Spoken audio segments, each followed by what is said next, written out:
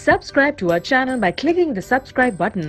Click the bell button and enjoy the latest uploads from our channel.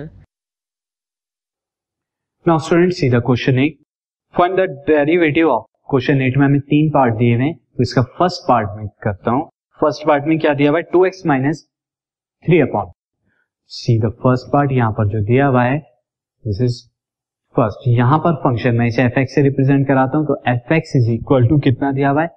Two x minus three by four. अब इस function का derivative क्या हो जाएगा? Now see f dash x is nothing but d by d x of two x minus three by since derivative जब हम करेंगे, पहले टू एक्स का करेंगे, फिर थ्री बाई फोर का। तो टू आगे आ जाएगा और d by d x of x minus d by d x of three by four क्या हो जाएगा? ज़ीरो हो जाएगा। And d by d x कितना होता है? वन होता है, क्योंकि एक्स का डेरिवेटिव वन तो आंसर टू आ गया। नाउ सी नेक्स्ट पार्ट